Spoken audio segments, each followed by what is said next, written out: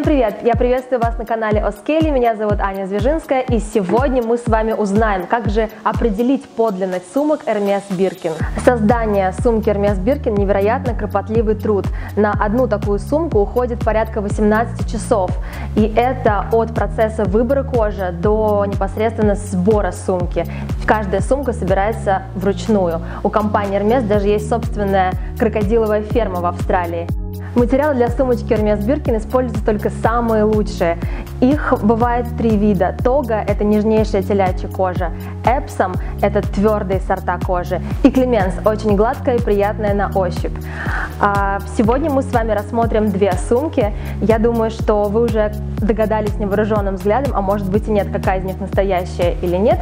На самом деле подделать сумку Биркин очень и очень сложно, потому что в настоящей сумке используется специальная палладиевая фурнитура. Кожа, например, на этой сумке, она является настоящей, используется нежнейшая. Если потрогать ее на ощупь, то можно просто закрытыми глазами определить, какая из них настоящая, а какая нет.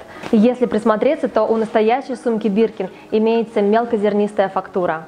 Стоит обратить свое внимание на то, что у настоящей сумки ножки, их, кстати, четыре, они плотно сидят, и со временем они у вас останутся на этом же месте. У ненастоящей сумки ножки могут э, потеряться, открутиться, и это тоже особо важный момент. Еще важной деталью является клейма на ремешке, на обратной стороне ремешков. На ненастоящей сумке обычно штамп стоит достаточно крупно, цифры и буквы выполнены достаточно большим размером, чтобы убедить, так скажем, покупателя в подлинности сумки. А в настоящем экземпляре эти цифры едва видны. На Ускеле каждая вещь проходит жесточайший контроль подлинности. Заходите на наш канал, подписывайтесь и увидимся.